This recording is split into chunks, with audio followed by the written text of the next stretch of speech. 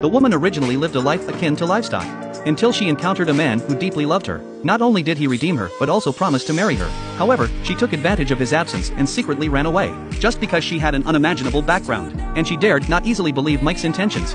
And lived in luxury on a grand estate in her childhood. But the estate only housed her and her mother. It wasn't until she turned 8 that she found out. She was just the illegitimate daughter of a nobleman. Moreover, she was the illegitimate daughter her mother secretly bore.